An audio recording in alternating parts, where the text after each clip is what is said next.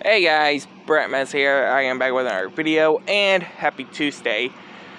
So this was not a good idea for me to do and uh wow.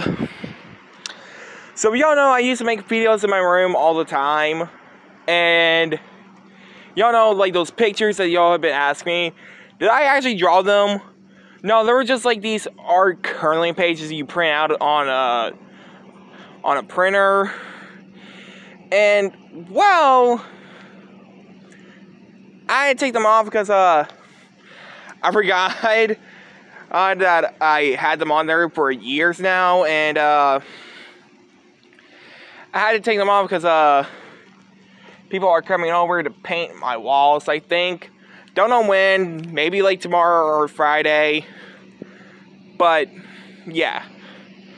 Uh, besides the point, um, yes, guys, uh, I will try to give you guys an update on, um,